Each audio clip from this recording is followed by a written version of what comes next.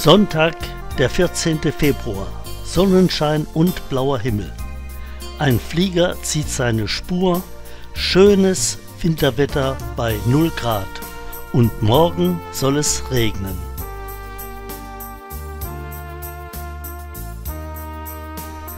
Der rauchende Schornstein spiegelt sich im Schnee. Das Thermometer zeigt 0 Grad an und die Vögel picken das Futter. Schleierwolken ziehen auf und es gibt eine Wetterveränderung. Es soll regnen. Montag Nachmittag haben wir eine glatte Straße. Es taut. Donnerstag sind das die letzten Reste vom Winter. Das Wasser im Pool, was vereist war, taut auf.